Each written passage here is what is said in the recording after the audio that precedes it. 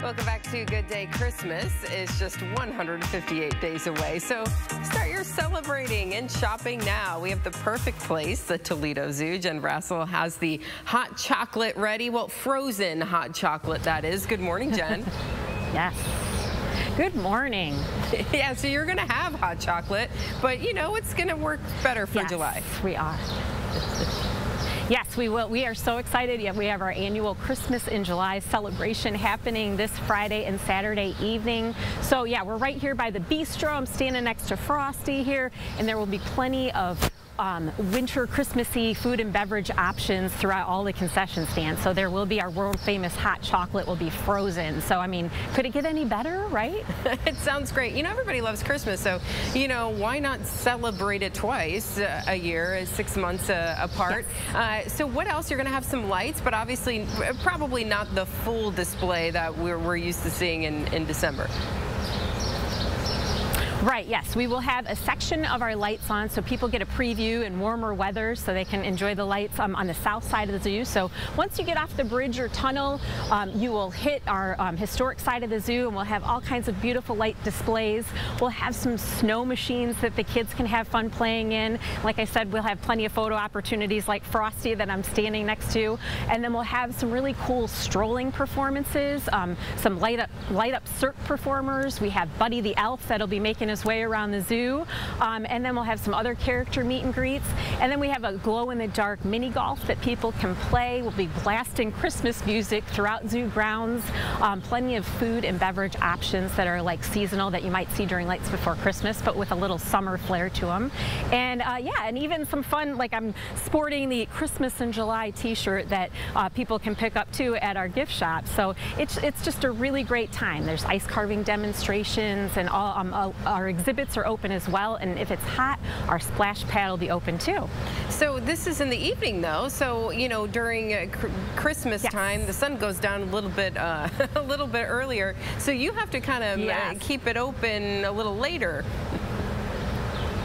Yes, we will be open. Um, the event runs 7 to 11 with last admission at 10 o'clock. You can go to toledozoo.org to find the complete schedule of events, but um, you can get your tickets uh, online if you'd like.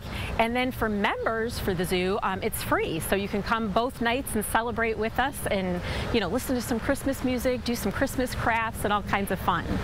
And there's something um, for adults on Friday Gamers, is that right?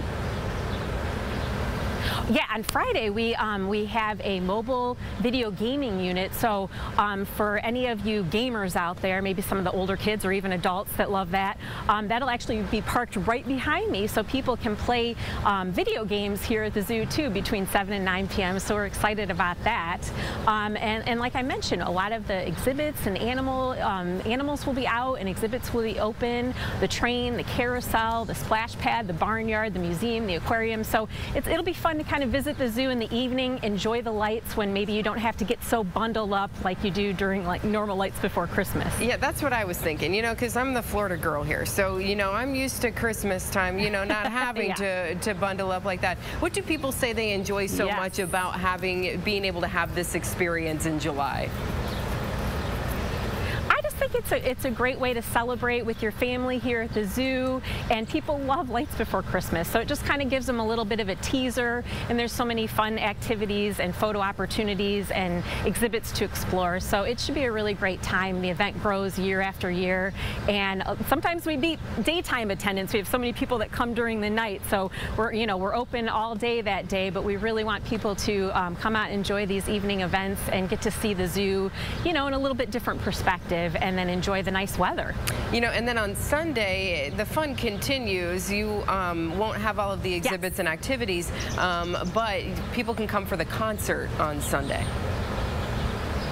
Right, yes. Our Music Under the Stars concert series where we have free concerts um, in our beautiful historic amphitheater on Sunday evenings. That will be happening, so we'll have a performance going on between 6 and 7.30 in our main plaza um, where people can stroll around and enjoy the lights that evening as well. And then at 7.30 there's the free concert, so they can grab their lawn chairs and um, grab a, a, cold beverage or a snack or something and then watch a really great concert. So, um, and still get to see the lights on that evening. You know, and then there's there's been a, a, lot of new things happening at the zoo. So if people haven't come out lately, you've got some new exhibits and new animals to check out. Yes.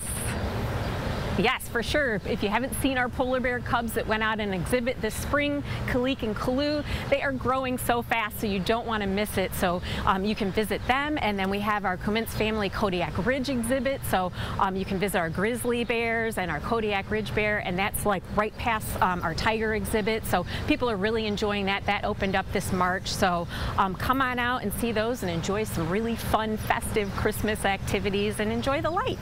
Yes, very good. Okay, so Friday, Saturday, and then the concert there on Sunday. Yep. Jen, thank you so much for joining us yes. this morning. We appreciate it. Yes, thanks. Take yeah, care. We're excited. Thank you.